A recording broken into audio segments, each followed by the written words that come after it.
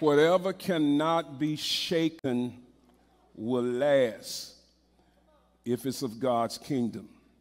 The question that many of you got to answer today is Is Trump of God's kingdom? I realize where we are as a people. I realize we are not all on the same page.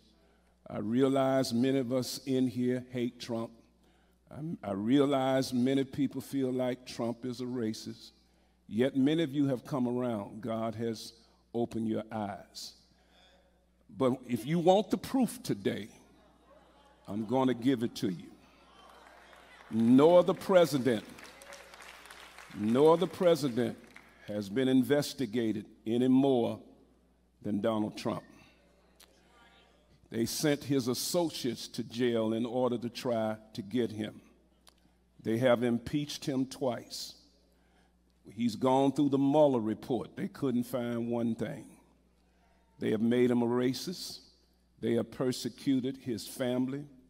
They indicted him in Georgia on election charges, indicted him in Virginia on the January 6th riot, indicted him in New York for supposedly paying a prostitute, Stormy Daniels, indicted him in New York for his real estate. They tried to take his properties.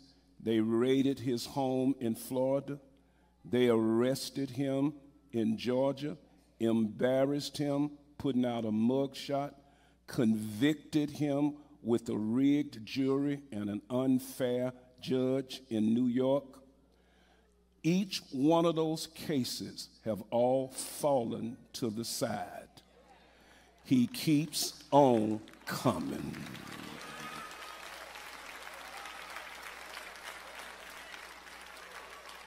I told somebody recently the only thing they got left, they got to try to kill him.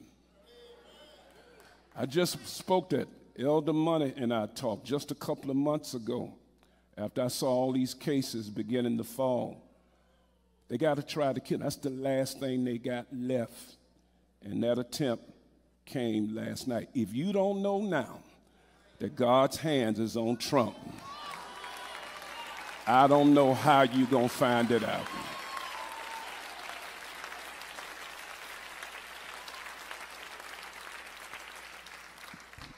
Black people are going to miss God because of your own hatred,